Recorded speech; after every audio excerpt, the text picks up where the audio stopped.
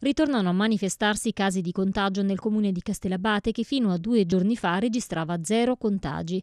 Attraverso una nota stampa il sindaco facente funzioni di Castellabate, Luisa Maiuri, ha comunicato la presenza di due cittadini contagiati. Nel rispetto della trasparenza, nonostante non abbia ancora ricevuto una comunicazione ufficiale, mi sembra doveroso comunicare che da poco sono stata contattata dal Dipartimento di Prevenzione dell'ASL che mi ha informato verbalmente della presenza di due casi positivi sul territorio di Castellabate. Uno dei due, sottolinea la Maiuri, è residente a Castellabate benché non dimori stabilmente qui, è in isolamento e non ha avuto alcun contatto. L'altro invece è un nostro concittadino in quarantena e tutta la sua famiglia è stata posta in isolamento fiduciario. Inoltre è in atto la ricostruzione della catena dei contatti. Voglio precisare che siamo in attesa del risultato di altri tamponi i cui esiti sarà mia cura comunicarvi man mano. Un altro comune che aveva mantenuto zero contagi durante tutto il periodo del lockdown e anche dopo è Roscigno, dove si è registrato nella giornata di oggi il primo contagio da Covid. La comunicazione ufficiale arriva dal sindaco Pino Palmieri.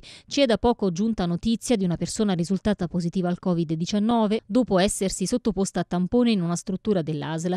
Il Covid ha fino ad oggi risparmiato Roscigno grazie al costante impegno di tutti a partire dai cittadini, ma ora la situazione della campagna e dell'Italia è grave e va affrontata seriamente. Dobbiamo essere i primi a rispettare le poche ma severe regole che sono state imposte perché nessuno di noi vuole trovarsi ad affrontare il virus faccia a faccia. Indossare la mascherina, mantenere il distanziamento, evitare spostamenti inutili al di fuori del territorio del comune, mantenere la prudenza anche all'interno delle mura domestiche. Sono le uniche armi che abbiamo a disposizione, sottolinea Palmieri. Gli ospedali sono in affanno e le ASL stanno facendo l'impossibile per stare al fianco dei cittadini e delle amministrazioni, nonostante carenze e difficoltà. Il mio pensiero, conclude Palmieri, va alla nostra concittadina colpita dal virus, a cui auguro, a nome di tutta l'amministrazione, una pronta guarigione.